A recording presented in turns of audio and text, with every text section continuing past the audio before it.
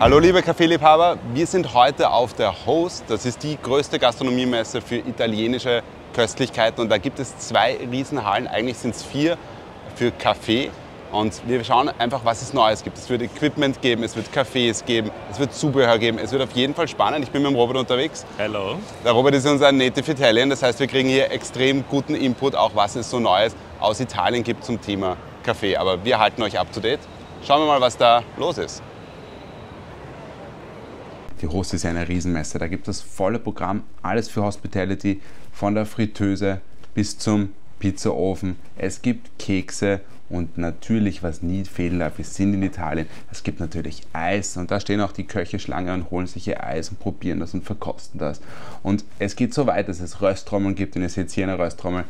Riesige, riesig große Dinger. Aber wir gehen in die Kaffeehalle, weil bei uns geht es um Kaffee und da müssten wir uns mal zurechtfinden, wo wir denn hingehen sollen. Wir haben mal bei ein paar unserer Röster vorbeigeschaut, wir haben bei Hausbrand vorbeigeschaut, geschaut, wie die neuen Panettone zu Weihnachten ausschauen werden, ein bisschen Kaffee verkostet, ein bisschen Tassen geschaut, die üblichen Sachen halt, Gadgets links und rechts, da sieht man sich kaum satt, Zubehörteile von Pumpen bis zu gefriergetrockneten Kaffee, den ich im Wasser auflöse.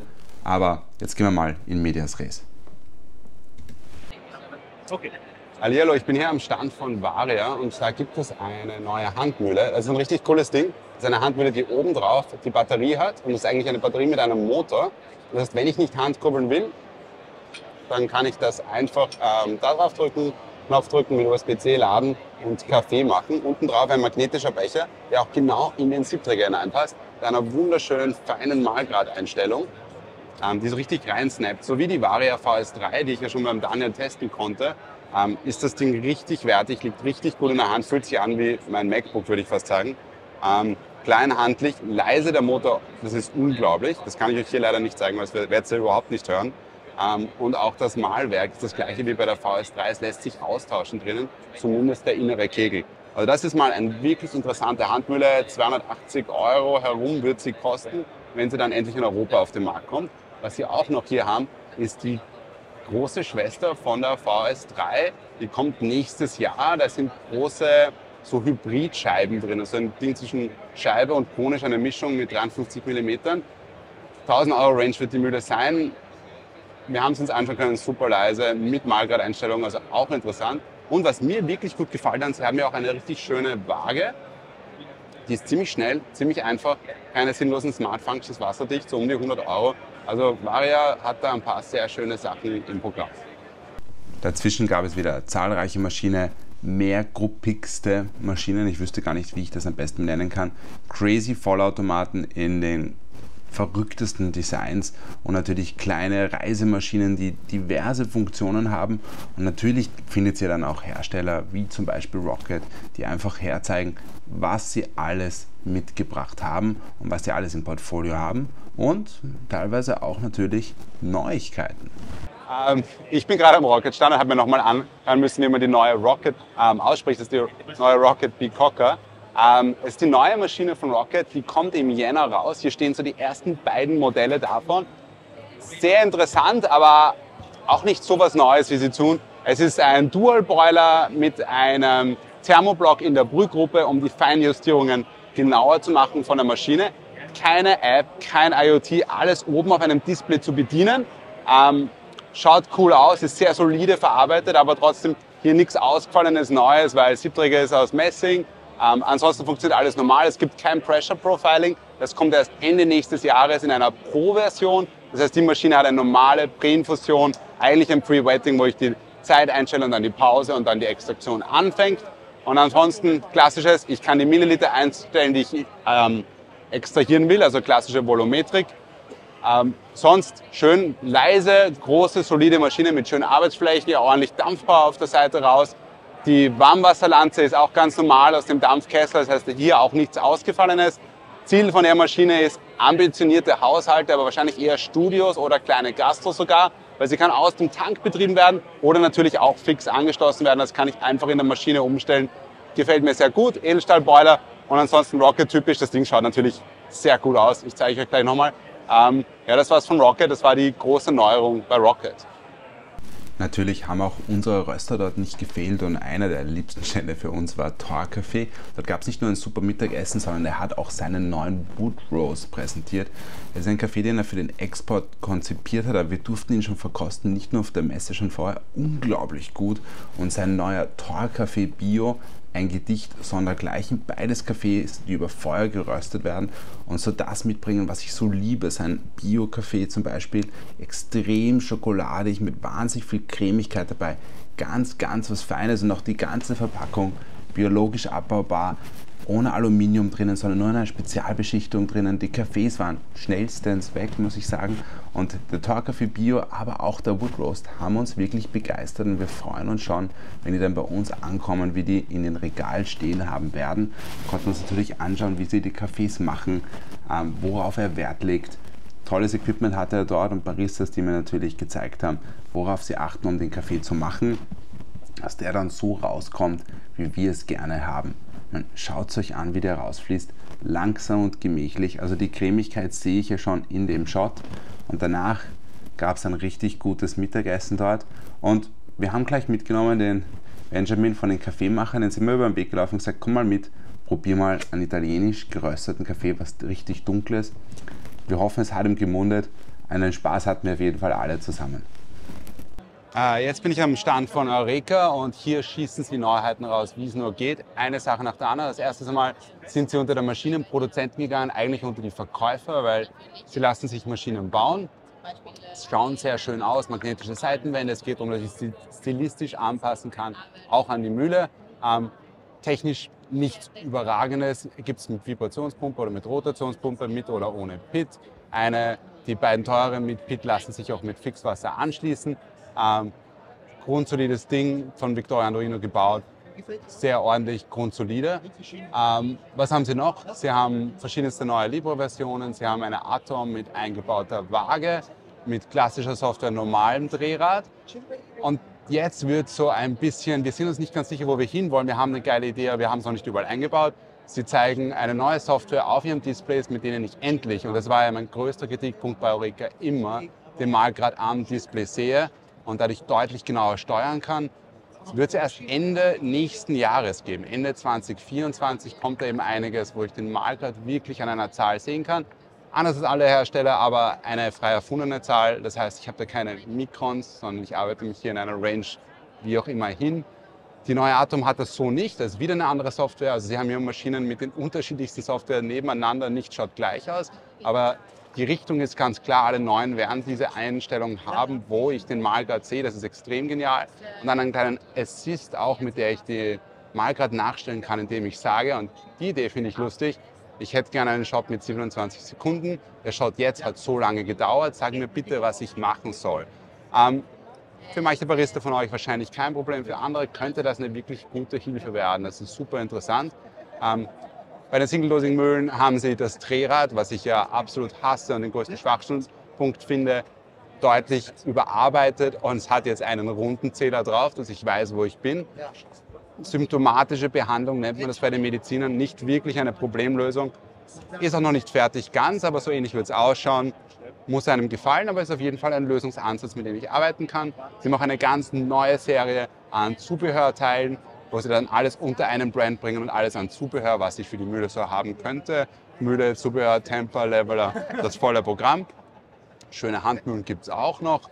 Äh, ich glaube, das wäre mal so die schnelle Zusammenfassung. Den Rest kann man sich dann im Detail anschauen. Nichts Großes, Weltbewegendes. Das Gute finde ich vor allem die Verstellungen von den Drehrädern ähm, und die Software, die Richtung, wo es hingeht, ist auf jeden Fall sinnvoll, weil ich kann das kleine Drehrad haben, wenn ich dann am Display genau den Malgrad sehe und mit den auch wieder finden kann.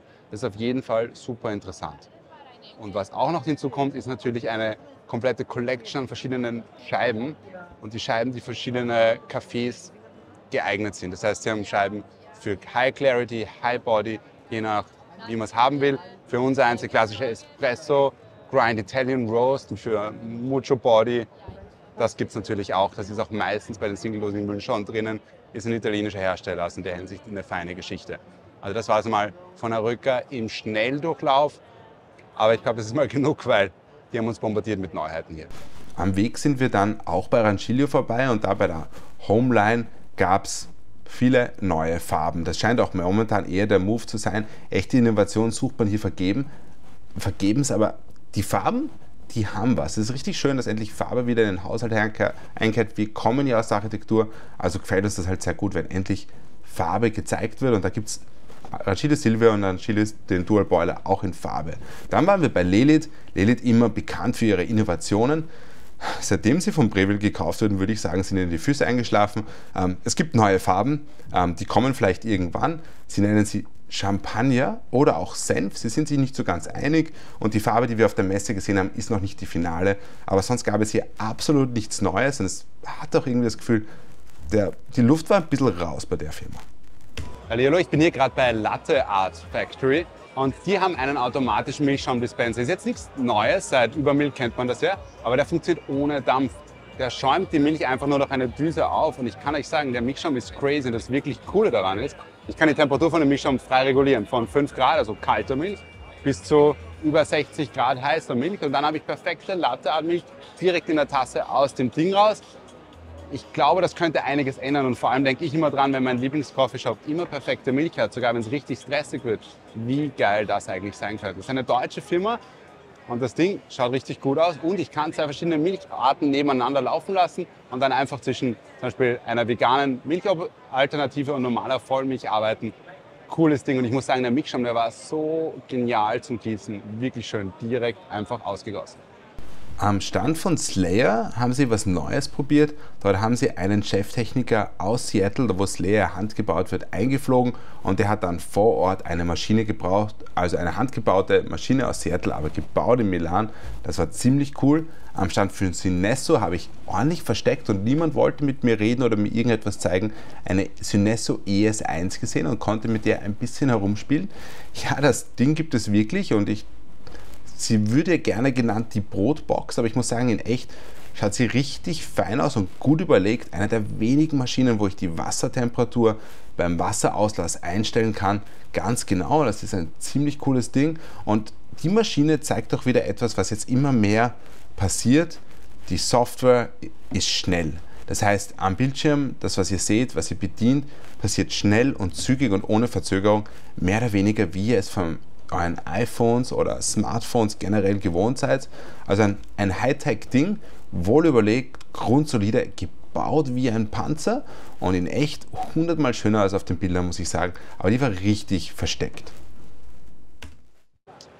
Ich bin jetzt am Stand von Matzer. Ist ja jedem, glaube ich, ein Begriff. Äh, macht Mühlen und sie haben was Neues präsentiert. Sie haben eine Single-Dosing-Mühle für zu Hause präsentiert. Die Philos heißt sie, glaube ich. 64 mm Scheiben und sie wirkt extrem groß. Ich habe gedacht, uh, das ist ein wuchtiges Ding. Erstens ist es Mazza, es ist made in Italy, alles in Italien.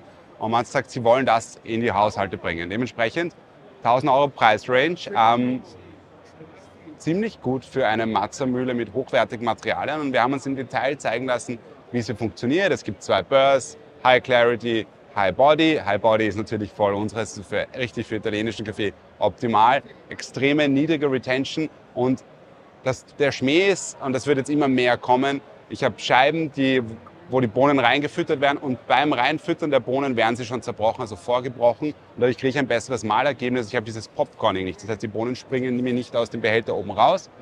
Ähm, ich habe euch hier im Hintergrundspiel läuft das Video, wo sie uns gezeigt hat, wie das funktioniert. Und für mich, ich bin ja Sauberkeitsfreak, wenn ich Kaffee zu Hause mache.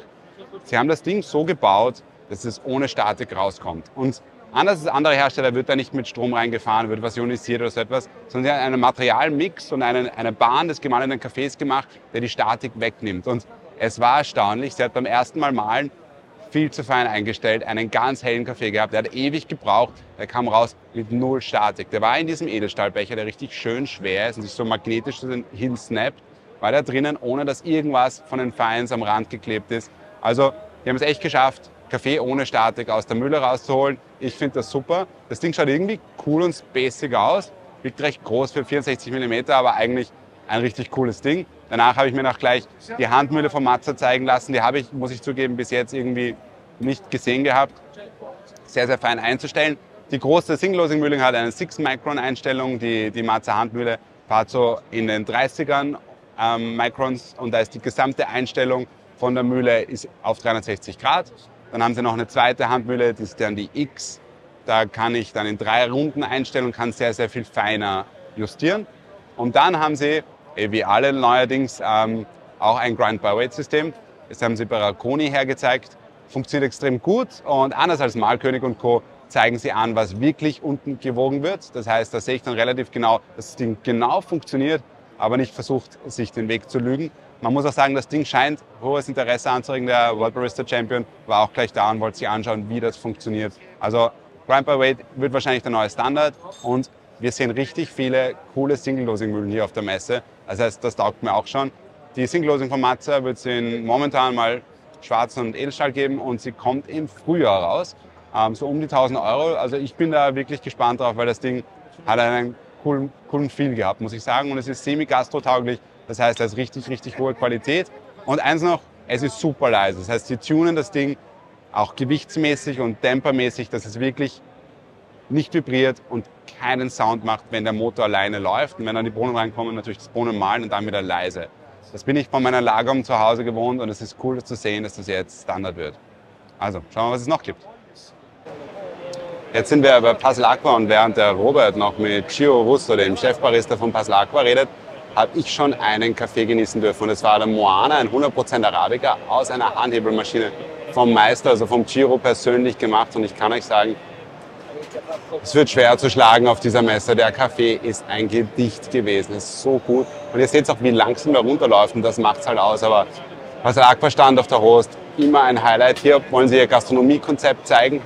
Sehr fesch, sehr gut, aber vor allem verdammt guter Kaffee. Aber Robert kommt gar nicht aus dem Schwärmen raus, also muss man schauen, dass wir weiterkommen. Aber was Aqua stand hier, wenn ihr einen guten Kaffee auf der Host haben wollt, kann ich immer empfehlen. Das ist super, super gut. Auf der Host trifft man auch echte Koryphäen. So habe ich auch Junior Vargas, den österreichischen Barista-Champion und World Espresso-Champion getroffen, habe ihn zu Puzzle Aqua mitgebracht und habe ihn gleich mal Giro Russo vorgestellt. Und die beiden haben ein bisschen gefachsimpelt und dann Kaffee getrunken. Ach, das war ein Happy Place Moment, muss ich euch sagen. Hallo, ich bin jetzt bei Malkönig gewesen und da gibt es viel zu erzählen. Ähm, da hat sich einiges getan. Es gibt natürlich die Omnia, das ist die EK43 auf Speed mehr oder weniger mit der wunderschönen Software von Malkönig drinnen. Sie kann jetzt auf Zeit malen, äh, sie kann Rezepte speichern und nachstellen. Ähm, sie hat dann den Siebträgerhalter natürlich für den Siebträger, sie hat magnetischen Einsatz, damit alles schön ausschaut. Das Ding ist traumhaft schön und kann theoretisch im Coffeehouse auch eine normale Mühle ersetzen, weil sie eben auf Zeit malen kann und das in dem Speed von der EK43 und der gesamten Range. Aber das, was eigentlich cooler ist bei Malkönig, ist diese neue Softwarelösung, die sie haben, wo sie die Mühlen mit elektronischer Malgradverstellung, wie ihre 80er Mühle mit, mit Grind by Weight oder auch die Omnia oder auch bald die 65er, die kommt dann nächstes Jahr, da können sie Malgrad ja elektronisch verstellen. Das alleine ist nicht wirklich cool. Die Mikrons werden angezeigt, die elektronische Malgradverstellung ist jetzt nichts Weltbewegendes, aber die Mühle redet mit der Maschine und eigentlich müssen wir sagen, redet die Maschine mit der Mühle, weil die Software kommt vom Malkönig und die Maschine darf sich anbinden. Momentan sind es die Gastromaschinen von Lamazocco, die das können. Vom Grundprinzip her, ich fasse das mal zusammen, aus fünf Malungen werden die kürzeste und die längste werden rausgeschmissen und die drei mittleren werden gemittelt und dann stellt sich der Malgrad nach. Im Endeffekt habt ihr einen Profibarista stehen, der allein in der Mühle eingebaut ist und laufend den Malgrad anpasst und das Rezept konstant hält. Kleine Abweichungen sind okay, große Abweichungen sind nicht okay. Das Ergebnis ist natürlich cool. Ich kann konstant fahren und brauche mich um nichts kümmern. Das Ganze läuft über, magisch, die Cloud. Ja. Da hängt die Mühle und die Maschine dann dran. Aber, und das war natürlich sofort meine Frage, es geht auch hardwired. Ich kann die beiden Dinge auch mit USB-Kabel verbinden. Kein Bluetooth oder sonstige exotische Lösungen. Das ist eine sehr, sehr schöne, dynamische Lösung. Und ähm, die Aussage von Malkönig ist ganz einfach. Wir haben die Plattform, wo die Mühle dran hängt. Die Hersteller können sich dranhängen. Momentan ist es Lamazocco, aber sie sind offen für andere. Das heißt, das wird extrem interessant und es werden alle Mühlen sukzessive in dieser Richtung nachgeschossen mit der elektronischen Malgradverstellung. Das heißt, wir wissen schon, wo die Reise hingeht. Die Reise geht hin, dass sich die Mühle ab sofort von alleine aufs Rezept anpasst. Momentan einmal in der Gastronomie, aber ich glaube, das wird richtig spannend. Hallo liebe Kaffeeliebhaber, ich bin gerade bei Compact am Messestand und dort haben sie ja präsentiert die neue Compact Fino. Das ist eine kleine Single-Dose-Mühle. Ich würde sagen, auf den ersten Blick sehr ähnlich zu einer Nische. Vollmetall wirkt richtig wertig mit 63 mm Conical Burst. Compact selber sagt, sie ist mehr fokussiert auf Filter, aber nach einigen Gesprächen mit einigen Mitarbeitern ist es ein Full Range Grinder und sie haben sich für Conacle entschieden, weil sie mit einer langsamen Drehzahl die Fines relativ niedrig halten. Ähm, generell sollte diese Mühle auch super sein für Espresso und was mir daran gefällt auf der teuren Version, die wird so 800 bis 1000 Euro kosten, ist eine Waage unten eingebaut. Das heißt, ich kann die Bohnen auf der Mühle abwiegen und oben reinhauen und dann beim, nach dem Rausmalen noch einmal sehen, wie viel ich wirklich rausgemahlen habe. Ich finde das super für den Workflow. Sie haben sich auch überlegt, wie man die Nullpunkteinstellung super in die Mühle integriert. Das Ding ist klein, das Ding ist leise, hat relativ einfache Bursts und was sich bei Compaq jetzt so richtig geändert hat, was ich super finde, sie bauen ihre, ihre, ihre Malwerke selber. Das wird ja in Spanien gebaut, also das heißt, das ist auch wirklich ähm, in Europa gebaut, gefällt mir immer gut. Und weil sie ihre Malwerke selber bauen, haben sie jetzt viel mehr Einfluss auf das Endergebnis der Mühle. Also daher kommt sicher einiges Interessantes von Compaq in der Zukunft. Und in so zwei, drei Monaten soll die Mühle auf den Markt kommen. Das Video, was ihr jetzt seht von der Mühle, ist noch eine Vorproduktionsunit, aber das scheint alles schon ziemlich fertig zu sein. Nur der Blower, der oben noch drauf kommt, der kommt dann bei jeder Mühle auch mit.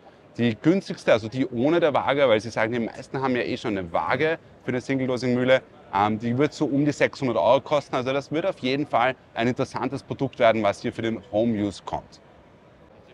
Äh, jetzt bin ich bei Ciado am Stand und stehe hier neben äh, einer Synesso ES1. Ich zeige euch die kurz einmal. Eine Maschine, die, glaube ich, nur, nicht nur ich geglaubt habe, dass sie nie auf den Markt kommen wird. Aber ich habe bei Ciado gefragt, hey, was habt ihr Neues? Und sie haben die neue Leon-Line. Und nebst allem, was ich hier auf dieser Messe gesehen habe, Hightech, Fancy, Gadget, whatever, ganz klassische Mühlen. Aber ich habe jetzt Magatiado, weil es so klassisch und unkompliziert ist. Und sie haben sich das gut überlegt. Sie hat ein Display vorne, sie ist zeitbasierend, sie hat oben einen Drehkranz. Null ist Touchpoint der, der Scheiben. Und generell ist eine Scheibenmühle mit einer Zeiteinstellung und das ist es. Sonst tut sich hier nichts. Ich kann das Menü vorne relativ gut konfigurieren. Das heißt, ich kann mir ein, zwei, drei, vier Tasten anlegen, wie ich es haben will. Und wie ihr hier seht, ich kann einen Bezug starten, also einen, einen Malvorgang starten, pausieren, was mit dem, mit dem Siebträger macht, das Spiel aufklopfen, wieder einsetzen und weiterführen. Finde ich eine super, super Geschichte. Und vor allem, was mir am meisten taugt, das sind manchmal die kleinen Sachen, ist diese Ablage, die sie vor dem vor der Mühle haben. Ich dachte erst, es gehört zum Messestand, aber es ist Teil von der Mühle. Da ist richtig viel Platz. Die kann ich rausnehmen und ausleeren, kann meinen Siebträger drauflegen. Die Mühle ist schnell, die Mühle ist sauber. Ähm, und das wirklich Lustige ist, sie haben die 800er, die 700er, die 600er. Und ich dachte, das sind 80er, 70er und 60er Scheiben mit einem kleinen Millimeter dazwischen. Aber die 800er sind 83er Scheiben.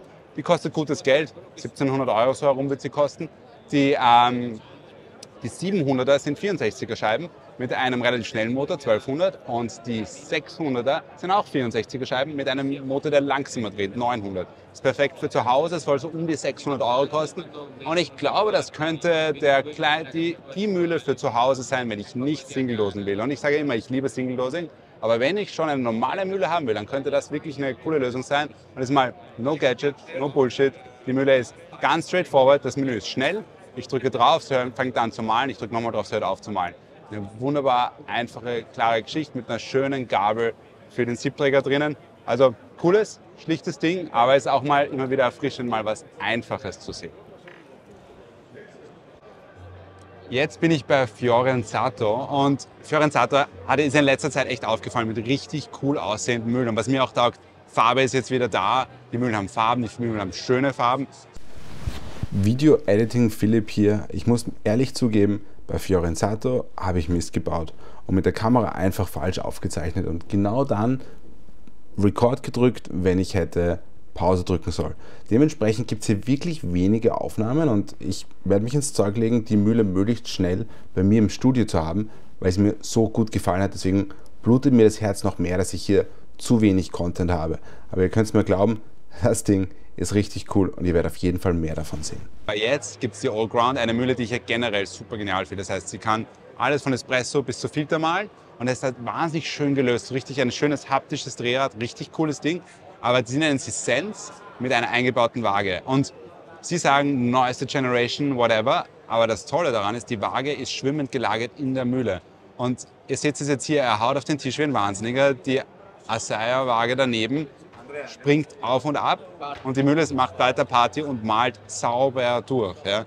Das heißt, es ist wirklich dafür ausgelegt, in einem normalen Szenario, nicht im Laborbetrieb, sauber, gewogen auszuwerfen und dann mit dieser wunderschönen Einstellung und diesem sehr einfachen Mechanismus, wie ich die Mühle aufmachen kann und reinigen kann, etwas, was ja gerne vergessen wird, muss ich sagen, schwer beeindruckend. Und jetzt kommt das Beste. Die Mühle hat einen Retailpreis von 970 Euro. Klingt im ersten Mal viel, aber 64 mm Scheiben, die leicht aufzumachen sind, leicht zu reinigen und eine eingebaute Waage. Ich sage mal, da müssen sich viele warm anziehen, Eureka. Ähm, in der Hinsicht muss ich sagen, richtig cooles Ding und komplett in Italien gebaut. Sind sie wahnsinnig stolz drauf. Ich finde das auch eine coole Geschichte. Alles italienisch daran, Vollmetall, schwer, richtig schön. Also cooles, cooles Ding. Ich kann schon sehen, dass wir das vielleicht bald bei uns stehen haben werden, weil die hat mir richtig gedacht, wahrscheinlich das Messe-Highlight. Das war die Host 2023 in einer Kurzzusammenfassung. Ich würde sagen, was man auf jeden Fall sagen kann, es kommen die Mühlen, die Mühlen werden leiser, die Software wird endlich schneller generell, ähm, alles wird leiser, stabiler und solider und die meisten Hersteller bewegen sich in die Richtung, dass sie komplett durchdachte und grundsolide Produkte rausschießen. Mein persönliches Highlight, nachdem ich den Junior Vargas natürlich ähm, zu Giro Russo bei Paslagua gebracht habe, ist die Fiorenzato All Ground Sense, also die Grind by Weight Fiorenzato. Dazu werde ich bald mehr sehen. Aber ich sage danke und das war die Host 2023 und ich bin der Philipp von Vittora und ich war unterwegs mit dem Robert, auch von Vittora. Danke euch.